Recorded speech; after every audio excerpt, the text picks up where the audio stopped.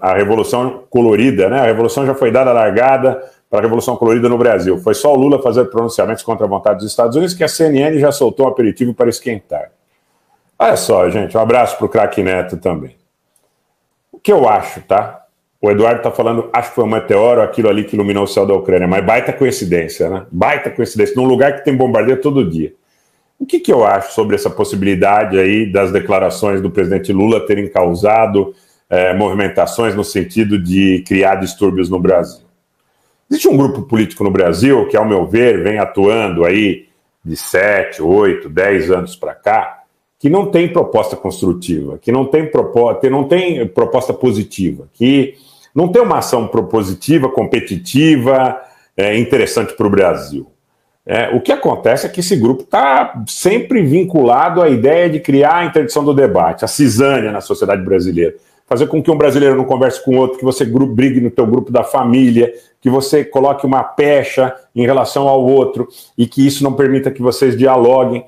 E essa gente está por aí, tá? É, eu não vejo que o Brasil tenha tomado uma atitude, sob o ponto de vista diplomático, Muita gente fala sobre posições erráticas da diplomacia, mas eu acho, primeiro, muito precipitado analisar a coisa dessa forma. Depois, como adulto, tá? Não como criança ou como alguém que quer algum tipo de vantagem em relação à situação. É, de uma maneira não emocional, eu vejo o seguinte: que o Brasil, eu falei sobre isso ontem, tem que priorizar os BRICS. Por quê? Porque é uma relação importante para o Brasil, mas ele não tem que brigar com os Estados Unidos nem com a OTAN. Ele não é parte do conflito. O fato de ele fazer parte dos BRICS não deve indispô-lo com as outras partes envolvidas nessa pandemia. Nós temos que ter habilidade suficiente para, ao mesmo tempo que privilegiamos a nossa relação com os BRICS, não fecharmos as portas para as nossas relações com os outros atores envolvidos no conflito. É muito difícil, mas eu acho que isso é uma situação que pode ser administrada à parte, tá certo? À parte uh, que grupos que são vinculados diretamente aos interesses ou dos Estados Unidos ou da Rússia vão tentar criar uh, mecanismos ou situações para que nós enveredemos para um lado. Eu, como brasileiro, penso o seguinte: eu, como brasileiro, como empresário, eu, como alguém que tem alguma experiência no trato e na conversa no meio diplomático há alguns anos, eu vejo que nós devamos priorizar aqueles com os quais nós temos relações comerciais, políticas, de expressão, e que não vem de hoje, mas nós não devemos criar nenhum tipo de ambiente que nos leve a fechar portas na nossa relação, por exemplo, de exportações e importações em setores sensíveis, para a União Europeia e para os Estados Unidos, também para o Japão, para a Austrália, enfim, para o mundo todo. Nós não temos que fechar a porta. Nós temos que trazer as coisas para uma esfera de maturidade, para uma esfera. É, tem um sujeito aqui que, inclusive, eu queria pedir para que vocês. Depois eu vou fazer um post lá no Twitter recomendando. Tem um sujeito que está nos acompanhando aqui, que é um grande brasileiro, né? lá do Ceará, o Bernardo Brito. Um abraço, Bernardo, obrigado pela sua presença. Vocês têm que acompanhar o Twitter do Bernardo Brito. Bernardo Brito, eu não conheço há tanto tempo, mas ele trouxe, desde o início da nossa relação, uma coisa que eu achei muito bacana.